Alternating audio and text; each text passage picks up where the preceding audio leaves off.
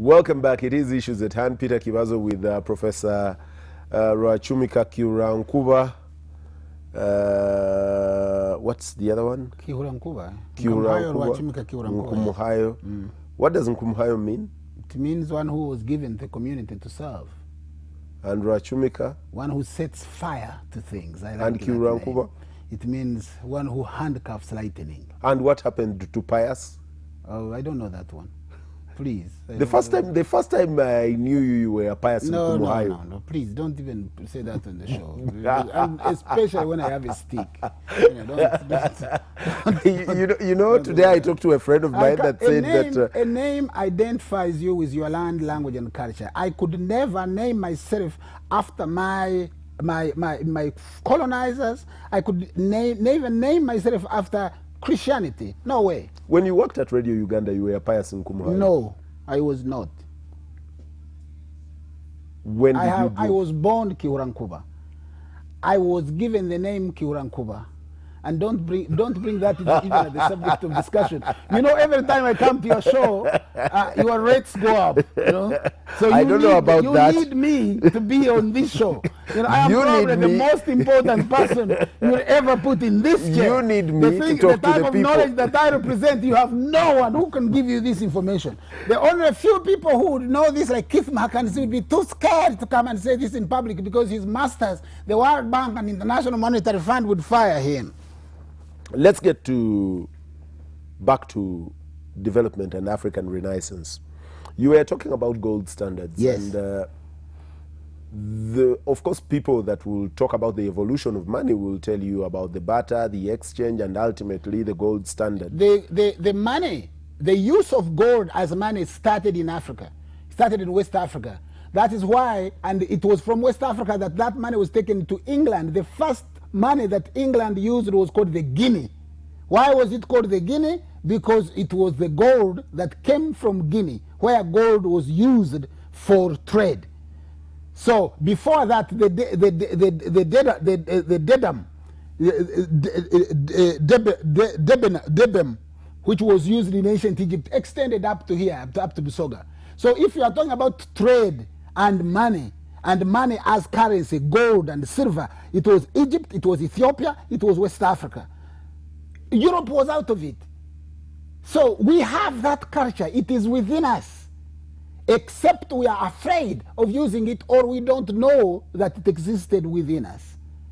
So there is no way, no reason why the Uganda shilling should be pegged to the American dollar, to a piece of paper, complete paper with graphics on it. It can be printed on Room Street, except Karikihura might have a few issues with that. And that's why they arrest you. But the, it is not backed by gold. I know you are talking about, uh, uh, you know, there is a place, uh, Fort Knox, where they said they used to keep the gold. It's not there. There's nothing there. In fact, America stops using it about the 50s when uh, by that time the whole gold was gone. There's nothing there. Right now, it is just printed. Is the pound pegged against the uh, against gold? No, the pound is not pegged against gold. But Britain has some gold reserves. But it is the pound is not pegged against gold. Get away from money and uh, you say and you banks, uh, and banks, banks. yes. What if I sorted would you out, do? what, what I- oh, I would make sure that everything that we use in this country is produced in this country, which would mean that that Chinese or God knows whatever chair you got that chair from or this one, this is a very uncomfortable chair. I mean, if you had gone to to Zambia, you know, to you know, uh, you know, when you're going to Bugolobi, Yeah. there are brothers that make chairs there. You know, if you had gone there, they would have sorted you out. If you're going to Tanzania among the Makonde, they would have carved a chair for you, a chair with your own majesty and grandeur. But now you are sitting with this. This is not even a leather. You know, this is this is some synthetic. Uh, and, and then you did you pay money for this kind of thing, or, or was it donated? Your clothes can't be manufactured here. This is from Nigeria. It's made in Nigeria. The money remains with my people.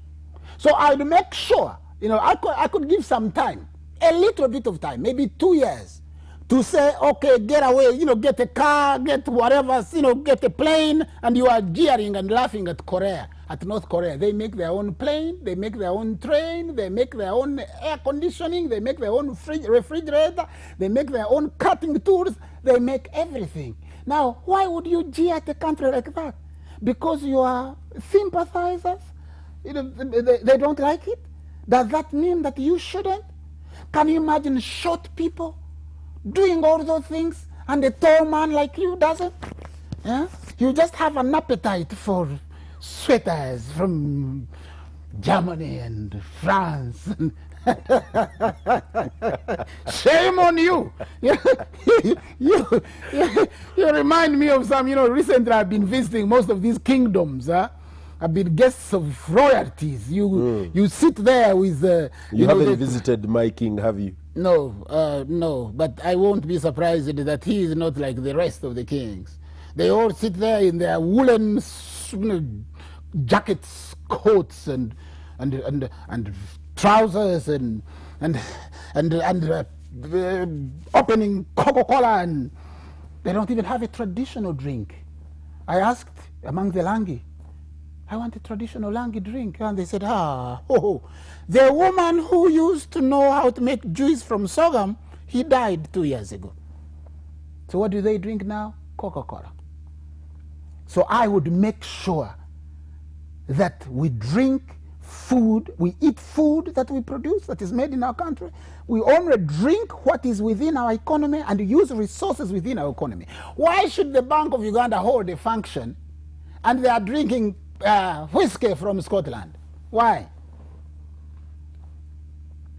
And then it's our money. They are spending our money, but they don't want to buy our products. You know Maggie Kigozi? she used to be a head of uh, revenue authority. She would sit there. investment there. Authority. Investment authority. You know, she she would sit there wrapped in uh, Thai clothes and and uh, and uh, and uh, Dubai garments, and and she'd say, "Buy Ugandan, buy Ugandan." Huh? by Ugandan. What a joke. So I would make sure, and if I was a president, I would make sure that no product, no furniture, no cutlery made outside my economy goes to State House. When you go to State House, it's all Chinese. Yes, all furniture there in Entebbe is Chinese. Possibly the building was constructed by Chinese as well. Well, okay, they constructed the building. They didn't come with the cement. We got it from here. They didn't come with the sand. I can understand if he's looking for something that we don't have. Then you can say, okay. But what about a chair? We can't even make our own chair.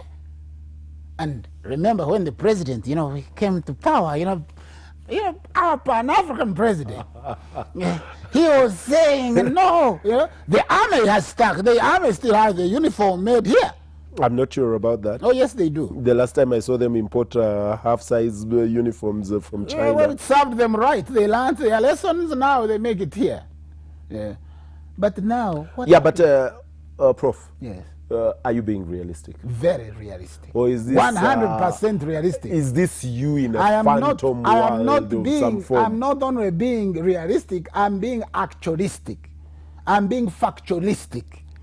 You know, I am 100, 1 million percent realistic. You know, you really sound you really phantom, idealistic. Are you, you know, telling me? Sleeping okay. somewhere and dreaming of you know, you have even lost the appetite. You know what happens? You you have even lost appetite for building an independent nation. So that when I paint a picture to you, for you, you just see white people. You have a white person sitting at the back, and, and every time I'm talking about black people and your own ability to create, you're thinking something else. You're telling me I'm not realistic that they can make a table. Why do you have this table here? Are there not a table is supposed to serve what function? This is like put, putting a book. You know, if I was to put this on the table, this is what the table you know does. Are you now telling me that we are not even capable of making that? Are we not capable of making a chair? If we are not capable of making lighting, yes, buy that from outside. But what about what we are able to make? I look around your studio. You know, when I enter the studio, I first look because I'm allergic to things made from outside.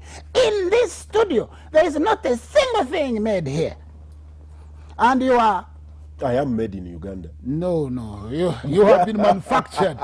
you are, you have been manufactured elsewhere. What is on you now that shows that you are even African or Ugandan? Tell me. I am. What? Because you are black? My your, skin. Your skin. But there are people in Australia who are darker than you. They are African too, yes. But they are not They're Africa, Australian, they are- actually. yes. They are not African. No, they are African. They came from Africa. They populated Australia from Africa.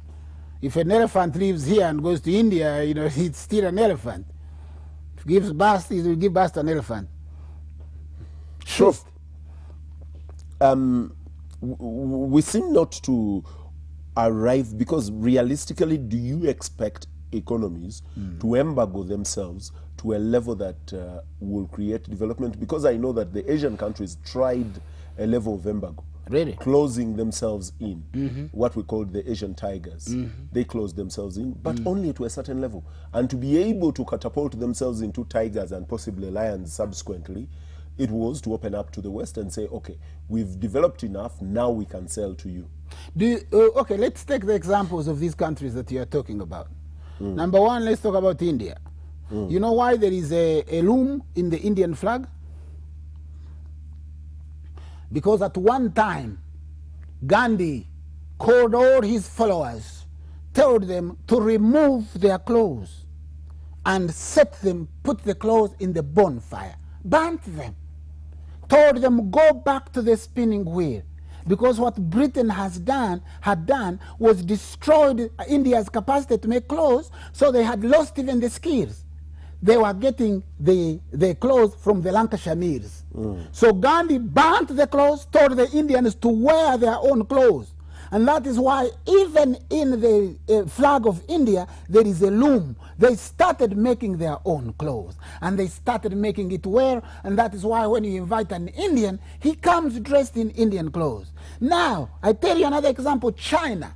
The biggest tiger, and because the, China is a beautiful example. I, I don't know whether they are still tigers, they could have become lions or elephants. Okay, Carry on. okay, okay. But You are talking about tiger economies, but maybe, uh, uh, elephant would even serve. uh, elephant would even serve us better. You know? Look at what China did during the Cultural Revolution. You know what the Cultural Revolution was? Anybody who studied in England or in America, anybody who had a degree, who could speak English, they shot them. They killed them all. Madness. Yeah, Madness.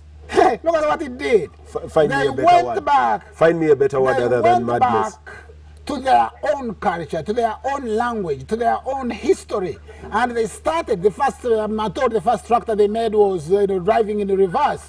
This was up to 1967. Everybody thought China would collapse, but look at that transition and what has happened to China now. Nationalistic. They see everything they want to make it. It's in their consciousness. It was achieved by bloodshed. Because you can't have a revolution without bloodshed. All revolutions are based on land, and how do they achieve them? Bloodshed. And that's what China did. Now, don't say that you can't.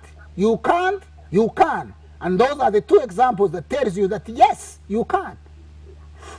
Ah, Moyo Gwagwanga says, uh, what is the place of religion in African development? Disaster. Uh, That's what it is. Religion is Moyo a disaster. Will come back. Don't go away.